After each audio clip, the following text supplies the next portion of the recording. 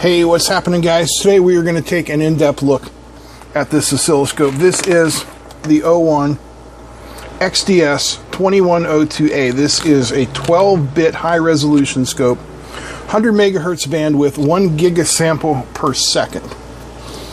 And it has just this big, beautiful display. This is 8 inches diagonally.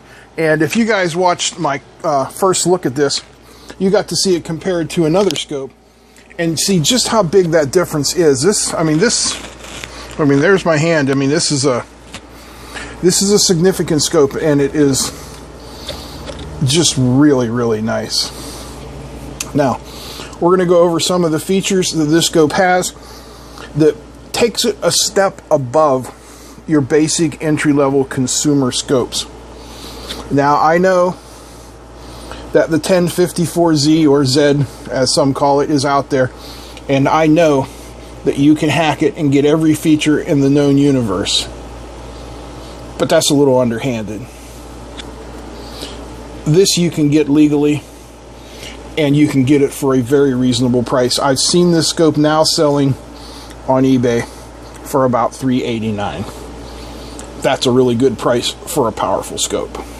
One of the first things I want to talk about is probably one of the most maligned features in oscilloscopes, and that is the auto set function. This scope has a really nice auto set that is somewhat intelligent. So I'm going to turn on the function generator here. Now look at that. We have obviously a wave on the screen that we really can't see. I'm going to turn off channel 2. We're not using it. And I'm going to press the auto set button and I don't know if you can hear it, but I can hear some relays clicking. And it says detect sine or triangle on channel 1. And it gives us that very nice display.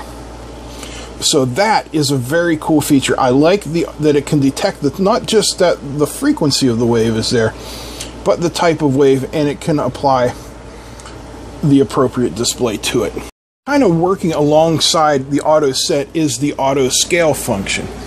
And the auto scale is a really useful function and it helps users carry out a quick test of the input signal. It's applied to all follow up signals automatically, even if the signals change. And what it does is, it enables the scope to set up trigger mode, voltage division, and time scale according to the type of wave. So, what we've got going on here is 100 kilohertz sine wave, uh, 10 volts peak to peak. And I'm going to press the auto scale button. Now we have a couple different modes here. We have vertical and horizontal, horizontal only, and vertical only. We will do both and we'll turn it on. See how quickly it did that?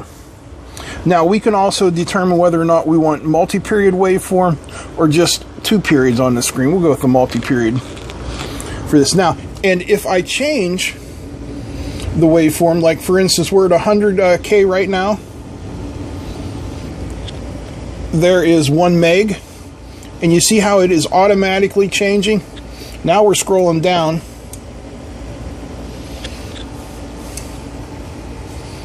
Down to 100, yeah, 100 back to 100 kilohertz. And if we take it even lower, there's 75 kilohertz. And that auto scale just keeps everything in check. Great for first time users. And you'll see it's working here because we have the little blinking A for auto scale. I'll turn it off for now. But that is a great feature. All right, now let's talk about dual waveform math. This is another thing that you're going to find a very limited uh, adaptation of in your basic entry level scopes. Uh, but this scope has a lot of great stuff going on here. So we have our dual waveform math. Factor one, we can do channel one or two. We can do uh, addition, subtraction, multiplication, division. There's our factor two. Our vertical divisions and our volts per division. Very cool. We also have a fast Fourier transform, what channel you want it on, what type of window you want, You see, we have Hamming, Rectangle, Blackman, Hanning, not the same as Hamming, Kaiser, and Bartlett. And then we have user functions, including integrals, differentials, square roots. This is some definitely very advanced waveform math, and that's very cool to find in a lower price scope. That's what I'm liking about this scope, other than the giant screen, is the advanced features that would normally be in a thousand dollar plus scope. OWON has uh, brought it out so that we can have it in a more consumer price scope. Now, one thing that I forgot to mention is right here the directory button that brings up our filtering. And you see we have high pass, low pass, band pass, and band reject filtering. That is pretty cool. I'm really impressed with that. This isn't a tutorial on how to use an oscilloscope. It's more just an exploration of this one. So we're, we're, we're skipping over a lot of stuff, and I'm just trying to hit on the points that bring out in this scope. And if we bring up our trigger menu, you can see we have our, our trigger types here. Right now we're on edge. We can choose video, pulse, slope, runt, windows, timeout, nth edge. We can choose between our single type, our alternate trigger, logic triggers, and bus triggers including RS-232, I2C, SPI, and CAN bus. Now I've set up a little um, I2C demonstration. Let's take a look at that. All right, so we'll take a look at one of the uh, bus decoding functions of the scope, the I2C bus. I've just got an Arduino Uno here, and it is running just a little program printing the uh, scope model here, XDS2102A, on this OLED. I have uh, got my got my probe messed up here. I've got channel one attached to my data, and channel two is attached to the clock. So let's take a look up here at the scope and you'll be able to see the decode going down. Now there's not a lot being put on there at the moment, but you can see we can press the display button down here and the format we have is hex. We can also change it to ASCII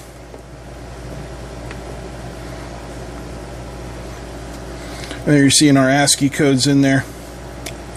We can change through the various bus types of RS-232, I2C, SPI, and CAN. And uh, yeah, I mean, that is a really expensive feature that you see in a lot of the higher end scopes. And it's great that OWON has put it in a scope that's reasonably priced for the average home electronics enthusiast. So you can easily see how the bus decode gives you a logic analyzer built into your oscilloscope. Very nice. Let's talk about some of these other filter, whoops, trigger types. We have the edge, video, blah, blah, blah. So if you're not familiar, I'll give you a quick refresher of what they are. The edge trigger triggers when the input passes through a specific voltage level. Whoops. Now our video trigger triggers on fielder lines for a standard video. Your slope trigger, it triggers according to the signal's rising or falling speed. Pulse trigger triggers on pulses of certain widths. Now here's a nice one that you don't see in a lot of lower end scopes, and that's the runt trigger. A runt trigger triggers on pulses that pass through one trigger level but fail to pass through the next one. So it's like a dual level trigger. Then we have Windows trigger, and it provides a higher trigger level and a low trigger level. And when the signal passes through the high trigger or the low tri trigger level. So you set a high point and a low point, and it'll trigger when the signal passes through one of them. We have the timeout trigger, and this triggers when the time interval from when the rising edge passes through the trigger level to when the neighboring falling edge also passes. And then we have the nth edge, which is really cool. And it triggers on the nth edge that appears on the specified idle time. These, I mean, eight trigger modes. That's, that's, I can't imagine a type of signal that you can't pick up with this. Okay, if we can take a look at some of these hard front panel controls, not to be confused with the soft panel controls here and here that appear with various functions. You see we have our measure controls, and that allows us to bring up different measurements on the screen. We'll get into that. We have our acquired controls, which are very cool. They allow us uh, different modes, um, length, perf mode, interpolation, all that kind of thing is available there. Auto set, we have the utility button, which allows us to set time, date, language, and update the firmware of the scope. And that's something really nice. OWON is keeping these scopes updated. You can go to their website, download an update file, put it on a, a USB stick, pop it in there, press one button, and you're good to go. Then we have the cursor menus, which allow us to do uh, hand measurements as opposed to automatic measurements done by the scope. We can measure uh, time and we can measure voltage and we can measure them both at the same time, which is very nice. We have the auto scale, we have the save for saving waveforms, we have our display, which allows us to set up our brightness, um, the graticules on the screen, whether we're using dots or vectors. And then we have the help menu. Let's take a look at that. So here's the help menu. And you can come down here and scroll through all of this stuff. Say you need to know how to do a pass fail. So you select it with the multi-purpose knob, click it, and I clicked the wrong one, didn't I? Alright, return, pass fail. There we go. So now it tells you how to set up a pass fail reading all of the stuff available on the scope is here. Just incredible. Now, let's check this out. You're going to get a kick out of this, I think. Okay, so we've got our 75 kilohertz square wave, square wave, sine wave going here on the screen. And over here we have this button, WREC, which is our waveform recorder. We can set it up to record and boom channel 2 is turned off and we are recording this particular waveform and then we can come back and replay the particular waveform see it playing it's going through the waveforms that we've recorded very nice that's a cool feature I can talk about this for a long time but the video will just get too long and you all get bored and leave. So, what do you say we take a look at what's inside? So, anyway, here is the insides of the scope. Beautiful. Thanks for watching my review. No, I'm just kidding. Let's start by talking about the power supply, which is housed in this completely shielded area up here. Very nice. We've got nice heavy cords bringing the power over to the board. Now this section of the board here is the VGA out port and I can tell that because I had to look up this chip here which is the Chrontel 7026B which is a VGA encoder and you know it goes right there. Hey look at this. Watch me blow something up. That little connector wasn't quite in there. We've got a Texas Instruments chip. We've got some Samsung memory. I believe we're going to find our FPGAs in our ASICs under this shielding can here. Another one there. There's some more memory. There is our trigger out. There is our composite video out. We've got a relay here. Now this board can take an or this scope can take an optional battery and it's got a spot for it right there. So they've done a really nice job of maximizing space here.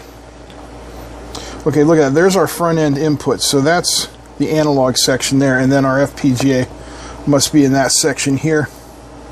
And you can see the on the board shielding with the anti tracking going on. Very, very nice. The design here is absolutely top notch. So there we go, all back together and working fine. Um, things I don't like about the scope. I don't like how long you have to hold the soft power button. Um, I don't like that it doesn't have auto sensing probes for your attenuation level. Um, yeah, off the top of my hand, that's really the only two things that I can say I don't like about it, but give me time to learn more about it. We'll come back in six months or so and see what it's like to live with this scope for a while. And uh, we'll talk some more about it then. But until then, thanks for watching.